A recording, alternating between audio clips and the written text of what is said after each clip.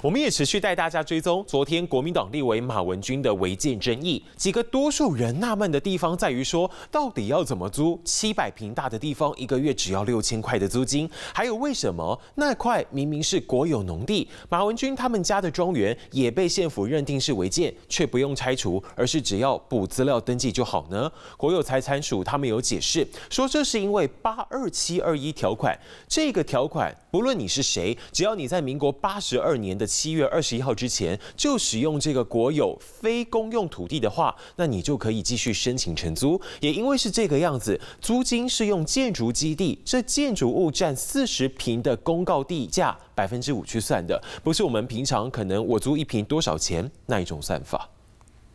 马文君为在埔底庄园被南投县府查出地上物没有建照，正公所说已经行为给县府展开调查。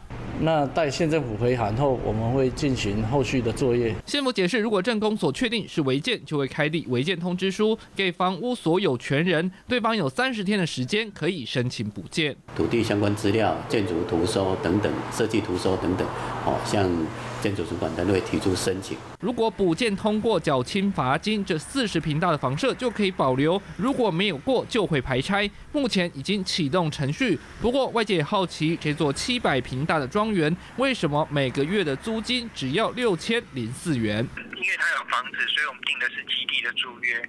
看租金跟一般的耕地租金，那那两个是不一样的。国有财产处解释，根据八二七二一条款，就是在民国八十二年七月二十一号以前占用国有地，有几种方式可以承租。如果是在国有地上盖房子，不管是农地还是其他地目，都是建筑基地租约。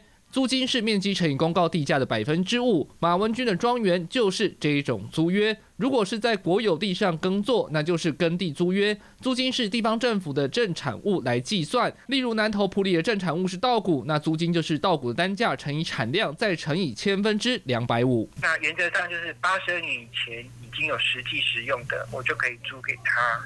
那我们去看它它的使用的性质是什么？国产署强调，接下来会看南投县府对于马文君的房舍要如何处理。如果确定是违建，房舍要拆，那就不符合所谓的建筑基地租约，后续也不会再把地租给对方。而新闻五连赵英光、周大祥南投报道。Hello，我是林纯佩，想要掌握最及时的新闻资讯或是体坛动态吗？赶快按赞、订阅、开启小铃铛，锁定华视新闻的 YouTube 频道。